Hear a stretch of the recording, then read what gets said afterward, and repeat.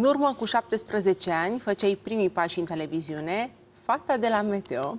Astăzi, numele, și ai un nume foarte frumos, cu o rezonanță anume, numele Ilinca Vandici este sinonim cu Bravo ai stil, o emisiune pe care o prezinți de șapte sezoane. În copilărie am văzut ai fost pasionată de dans. În adolescență, frumusețea ta a fost remarcată în concursurile de Miss și din totdeauna te-a atras actoria. În ultimul timp ești foarte activă pe rețelele de socializare, acolo unde ai o mare comunitate online și ești considerată un trendsetter. În plan personal, ești căsătorită cu omul de afaceri Andrei Neacșu și ești mama unui băiețel minunat de patru ani, Zian Ioan, să străiască Ilinca. Mulțumesc, Doamne, ajută tuturor! Ai spus că ai visat din totdeauna să lucrezi în televiziune și consider că meseria te-a ales pe tine și nu invers ai recunoscut că defectul tău cel mai mare este perfecționismul. Te citez. Îmi place ca totul să iasă perfect, fără greșeală. Tot tu ai povestit la un moment dat că în viață mizezi pe combinația dintre frumusețe, eleganță și rațiune. Iar în show-ul pe care îl prezinți, Bravo ai stil, ai nevoie de toate aceste trei atribute ale tale. Te citesc din nou. Bravo ai stil îmi vine ca o mănușă. Este un format care se mulează din ce în ce mai bine pe personalitatea mea, pe talentul meu de moderator. Urmează întrebarea. Ai ajuns acolo unde ți-ai dorit? Nu.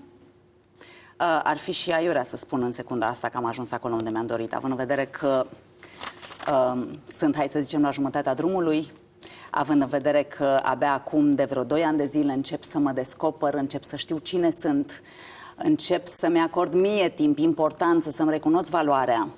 Uh, da, bravo, este proiectul care m-a ridicat foarte mult și care m-a ajutat să-mi întind super mult aripile. Uh, dar n-aș putea zice că am ajuns, uh, mă rog, sunt unde mi-am dorit, dar întotdeauna e loc de mai mult, iar mie îmi place să evoluez. Sunt convinsă că vor veni proiecte și mai multe, și mai frumoase, unde dorești, și mai provocatoare. Um, sună clișeic, cea mai bună variantă a mea, din toate punctele de vedere, dar cel mai important, din punct de vedere emoțional și spiritual mama desăvârșită pentru copilul meu, uh, stâlpul lui în viață alături de tatălui, de Andrei, exemplu pe care el să-l urmeze, omul pe care să-l admire, să-l vadă, să vadă, uite, interviul pe care îl fac acum cu tine peste 10 ani de zile și să spună, bravo, mama, sunt mândru de tine, ia uite ce frumos ai vorbit. Acolo mi-aș dori să ajung. Și cum o să-ți dai seama că ai ajuns acolo? Cred că nu o să știu asta. Cred că o să mă bucur de călătorie pur și simplu, uh, pentru că ăsta este unul dintre lucrurile care mă ghidează în viață, să nu urmăresc niciodată scopul precis neapărat, să mă bucur de tot ce se întâmplă pe parcurs. Ar fi și păcat să pierzi frumusețea experiențelor care la un moment dat te caracterizează, doar focusată fiind pe țelul final. Bine, Linca, mulțumesc. Continuăm. Despre Bravo ai stil. Hmm, nu te uita în întrebările mele. Despre nu Bravo văd. ai stil. Ai spus că este emisiunea care ți-a dat aripi și că acum ești în cea mai bună formă profesională. Corect. Fiind un show despre modă, îți oferă posibilitatea să porți cele mai recente colecții ale designerilor români și străini și te-ai transformat practic în trendsetter. Uh-huh. Un lucru care te motivează să înveți continuu despre stilul vestimentar, te citez. Zilnic învăț ceva de la jurații Bravo ai Stil și mi se pare senzațional că avem parte de cele mai bune sfaturi în materie de fashion din partea lor, a specialiștilor în domeniu. Urmează întrebarea. De câte ori a primit Ilinca Vandici Bravo ai Stil de la jurați? Cred că o singură dată în uh, toate cele șapte sezoane și asta din joacă. Uh, sincer, uh, mă rog, având în vedere că și eu la rândul meu colaborez cu stiliști, adică niciodată nu m-am îmbrăcat singură, pentru că îmi place să fac ce fac eu cel mai bine, nu să mă consider pricepută la absolut toate. Și atunci, da, m-am lăsat pe mâna stiliștilor. Sunt momente în care mă duc la ei la cabină, bat la ușă, bă, uite, asta se potrivește cu asta, uite, nouă ne-ar plăcea asta cu asta, pantofii ăștia merg și așa mai departe. Ei îmi dau sfaturile lor și în afara emisiunii. Însă, real, să vină la mine și să-mi spun spună bravo Ilinca, ai stil, asta nu s-a întâmplat niciodată. S-a întâmplat, uh, repet, în joacă, în timpul emisiunii, uh, să primesc acest bravo atât de dorit uh, de concurente și până la urmă, de ce nu, de toate femeile care stau în România și care privesc acest show și care iubesc moda. Și care iubesc moda cu atât mai mult. Um, dar cumva vezi, ducându-mă un pic în copilărie, îmi dau seama că, de fapt, tot acest show a venit pentru mine ca o lecție din nou și poate ca o vindecare a ceea ce eu am trăit și poate am dus lipsă de-a lungul copilăriei și adolescenței mele, acel bravo care n-a venit niciodată din partea părinților.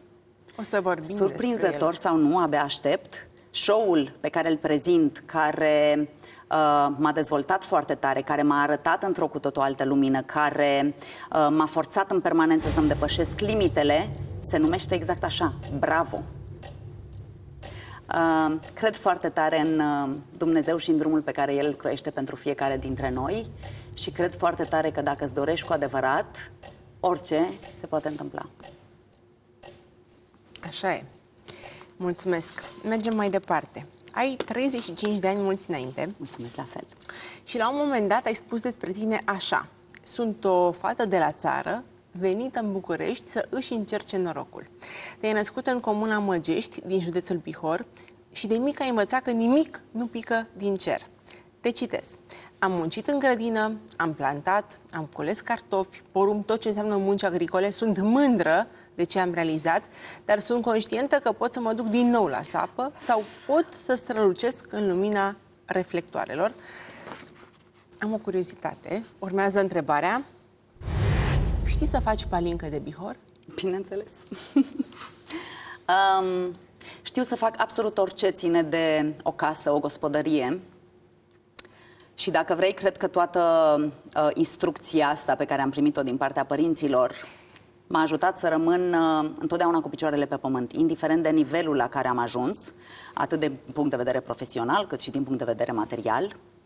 Știu să fac pălincă de bihor, am fost alături de tata la pălincărie, am cules împreună strugurii, i-am depozitat, i-am dus acolo, am adăugat ce trebuia, s-a fiert peste noapte.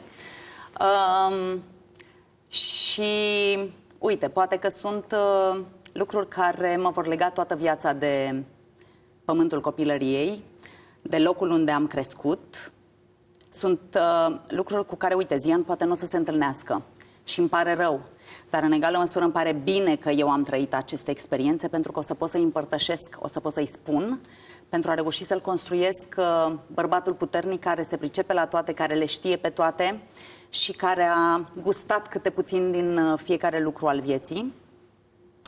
Uh, uite, asta e o amintire pe care o am uh, vis-a-vis de tatăl meu, dar de fiecare dată când uh, mi-aduc aminte de copilărie, de satul natal, Uh, nu pot să nu mă emoționez, cu atât mai mult cu cât îmi dau seama că nu sunt singura. Sunt foarte mulți oameni care au pornit de jos, cu toate că provin dintr-o familie bună, uh, înstărită, care n-a dus niciodată lipsă de nimic. Uh, totuși, nu suntem milionari, n-am fost milionari. Și am reușit din Măgești, județul Bihor, să ajung cine sunt astăzi. Sunt foarte mândră de tot ceea ce am făcut și de tot ceea ce am realizat. Bravo! Mulțumesc, Ilinca. Adică plângem de la început, deci nici ne apucăm să ne la întrebările serioase, că ne apucăm de plâns e bine, plângem amândouă, nicio problemă. Ai spus că una dintre primele tale amintiri din copilărie, pentru că mi-ai vorbit de copilărie, îl are în centru pe bunicul tău, care s-a apropiat de pătuțul în care erai, te-a privit și a exclamat, ce copil frumos! Despre bunicii tăi ai vorbit rar, ai menționat o vacanță de vară petrecută la ei, din care te-ai întors cu păduchi, iar în 2012 ai postat pe Facebook o poză cu o rochie despre care ai spus că ai găsit-o în dulapul bunicii. Aș vrea să știu cât de prezenți au fost bunicii în copilăria și în adolescența ta. Urmează întrebarea. Ce loc ocupă bunicii în biografia ta? Wow!